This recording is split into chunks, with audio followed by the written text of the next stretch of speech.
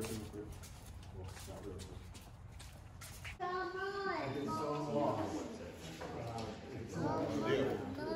yeah, you're. It's not that big. It's a record.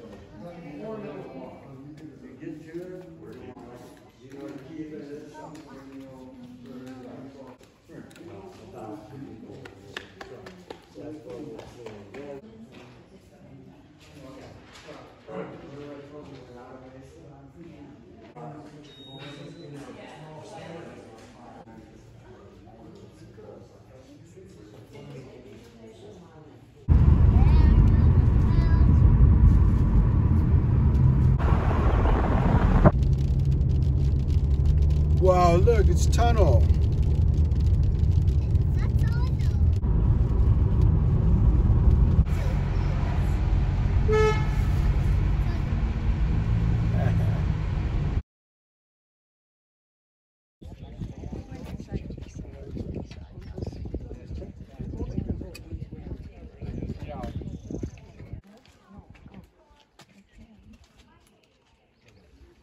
That's awesome. Yeah. Baby. Let's go.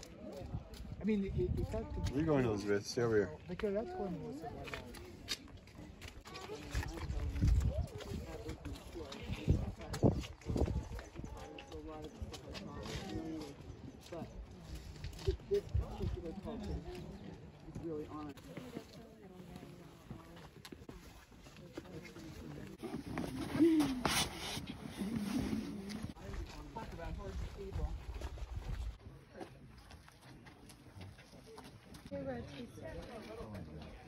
one.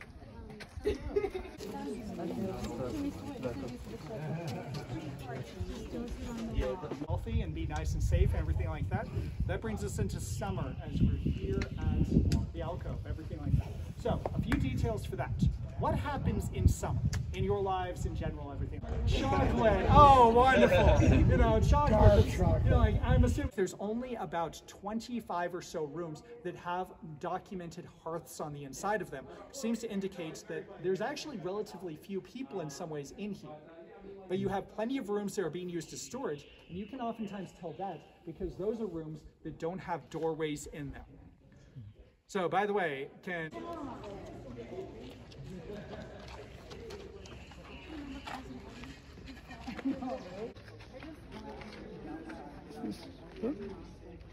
Seeing it on the walls and celebrating the fact that they were able to enjoy a nice space that had their personal touches on it. You use a bunch of wood and you go and put all the elements of that Hanukkah, you've got Kwanzaa, you've got uh, a whole bunch of ceremonies that take place. What other things make this personal again? Why would you leave? Any of you moved ever during your life? Sure. Cool. Why did you leave? They are moving from here. When they're leaving, it's not an overnight thing. It's not like June 2nd, everyone's got to be out. You know, the rent is up, we're leaving. Instead, it's more along the lines of over the course of 50 or 75 years, there are people who are leaving as family groups and they are moving on down to the Rio Grande Pueblos. They're moving on down into Arizona. They're moving to Acoma and Zia and Zuni and Hopi and Jemez and Taos and Ohkay Owingeh and am I getting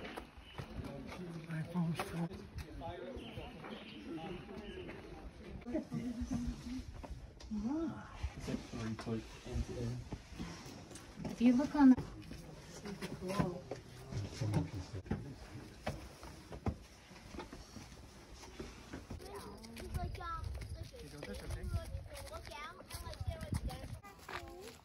Bebo. Bebo, watch out. Watch behind, okay?